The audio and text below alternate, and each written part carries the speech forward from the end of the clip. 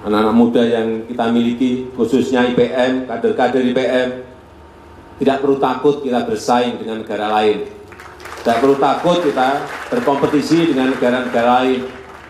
Misalnya sekarang ini pertarungan di teknologi IT, unicorn, startup kita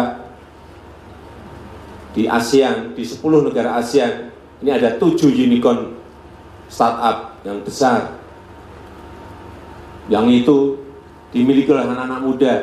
Empat di antaranya, tujuh ada di 10 negara ASEAN, empat adalah berasal dari Indonesia. Ada Nadiem Makarim, Gojek, ada Zaki, Bukalapak, dan lain-lainnya. Artinya, anak muda kita nggak kalah.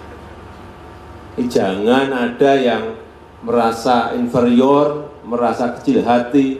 Enggak. Gojek pun sekarang sudah masuk ke negara lain.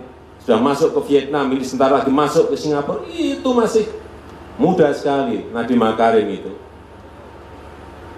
Inilah masa depan saudara-saudara semuanya yang hitungan hitungannya McKinsey Global Institute di 2045 Indonesia akan menjadi empat besar negara terkuat ekonominya. Itu masa saat saudara-saudara nanti sudah menjadi orang semuanya.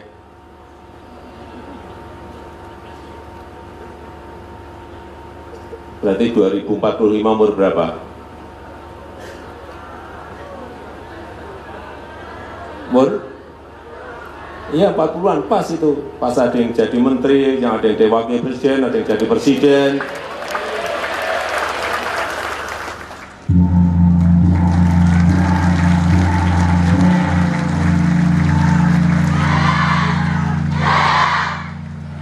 Demikian rangkaian acara pembukaan Muktamar ke-21 Ikatan Pelajar Muhammadiyah